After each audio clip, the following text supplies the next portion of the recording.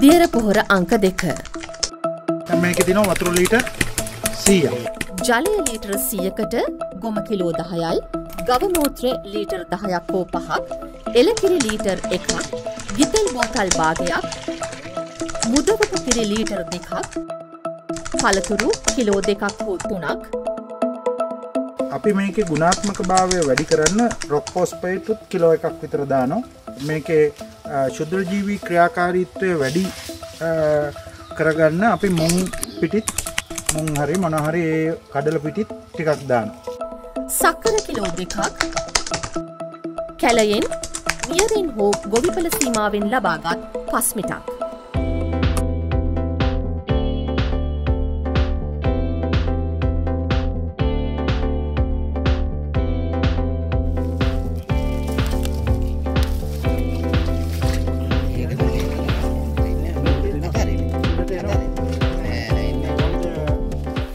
මේක ගැට ගහන්න ඕන ලනුවක්. හරි.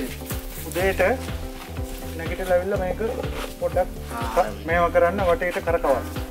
මේක වාගේ වත්ත තියෙන ඕන දෙකට එලෝලුවකට ඔක්කොටම ගහන්න පුළුවන්. හැබැයි මෙන්න මෙතන තියෙන උද තෙල් ගත්. මේ තෙල් ගීල පොත්‍රවල තැන්පත් වෙලා අව්ව වැටුන හම කළු වෙන. සාමාන්‍ය මේක අයින් කරන්න පුළුවන් ක්‍රමයක් තියෙනවා. අර දැන් අපි වලන් අතුල්ලන්න අරවට මේට ස්පොන්ච් කෑලි කියනවා ඒ කෑල්ලක් අරගෙන මේ උඩින් මේම කරහම එකට උරන තෙල්ටි ඒම නැත්නම් ක්‍රමයක් තියනවා ලීකුඩු ටිකක්දාගේ පත්‍ර කොලයක් දැම්මත් පත්‍ර කොලට උරනු තෙල්ටි මේ තෙල් ගති අයින් කරන්නේ දවස් දාහතරකට පස් එට කලින් තෙල් ගති අයින් කරන්න එපා. මේක කලබලයක් නැතුව දවස් විසියකත් තියාගන්න. මොකද මේක ඉන්න සමහර ශුද්‍ර ජීවීන් ඉන්න ඇගොල්ලන්ගේ උපරිම ක්‍රියාකාරීත්වය එනවා දවස් විසියකට පස් මේක විශේෂම නයිට්‍රජන් ගතිය වැඩි අන්තිම දවස් වෙනකොට. මේක මාස තුනට වඩා තියාගත හැකි නමුත් අපි කියන්නේ මාස තුනට වඩා තියාගන්න. ಜಾති පහක් තියෙනවා ගවයාගෙන් ලබා ගන්න. ඊට අමතරව පළතුරු තියෙනවා පළතුරු වලින් අර ශුද්‍ර ජීවීන්ගේ ක්‍රියාකාරීත්වය හොඳට සරු කරලා දෙනවා. එයාලට අවශ්‍ය ආහාර ටික දෙනවා. ඒ නිසා මේකට කජු පොහලන් ටිකක් අ, තව අවුලගෙන ඇවිල්ලා දැම්මට කමන්නේ.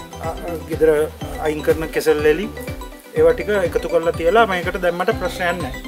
මෙයාගේ දැන් හ- කෙලින් මෙහෙම ගහ වැඩුන නම් අපි දන්න මෙයාගේ මෙන්න මේ කොලේ ගාන්ට තමයි මේක මුල්ල තියෙන අපි කියන්න මෙන්න මේ ගන්න මෙහට වතුර දාලා වැඩන්න ඒ නිසා මෙන්න මේ රවුම ඇතුළේ වතුර ටික දාන්නාම හරි.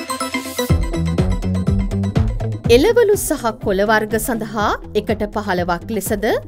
අලබෝග සහ වෙනත් බෝග සඳහා එකට දොළහක් ලෙසද? තේ රබර් සහ වෙනත් පැළවර්ග සඳහා එකට දහයක් ලෙසද? වී එකට දහයක්ද? පොල් පැල එකට දහයක්ද? තේ දළුකඩන අවස්ථාවේදී එකට අටක් ලෙසද? රබර් සහ පොල් වැඩුණු වගා සඳහා එකට හතක් ලෙසද? පළතුරු හා වෙනත් බෝග සඳහා එකට අටක් ලෙසද යෙදිය යුතුයි.